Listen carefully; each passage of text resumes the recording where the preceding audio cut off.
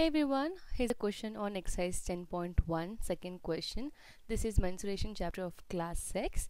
The question is The lid of rectangular box of a side 40 cm by 10 cm is sealed around with a tape. What is the length of the tape required?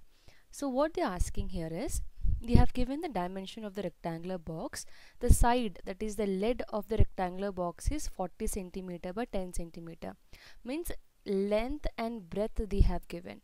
Now suppose I have a rectangular box. Let me just draw a rough figure here.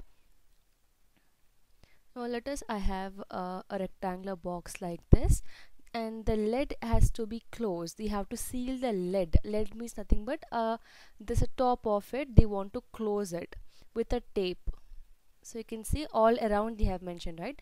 They want to seal all around with a tape. So the red color one you can see here this top suppose is the top of the rectangular box they want to seal this with a tape. And they have given that length is 40 centimeter and breadth is 10 centimeter. Means this length is 40 centimeter and the breadth of the rectangle is 10 centimeter they're asking how much tape is required. Means that to seal this let me use one more color. So to seal this how much tape we require. So this shape you can see this is actually a perimeter of rectangle right? So we have to find the perimeter of rectangle and that is nothing but total tape required here. I hope this is clear. So let us start solving the problem. So what is given here? So they have given length is equal to 40 centimeter. They have also given the breadth is equal to 10 centimeter. We have to find out the length of the required tape. So length will be equal to so length of the tape length of required tape we can say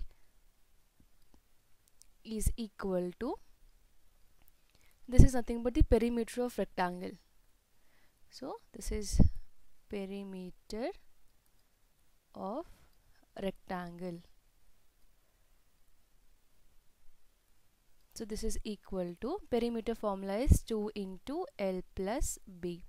We have to just substitute the values here.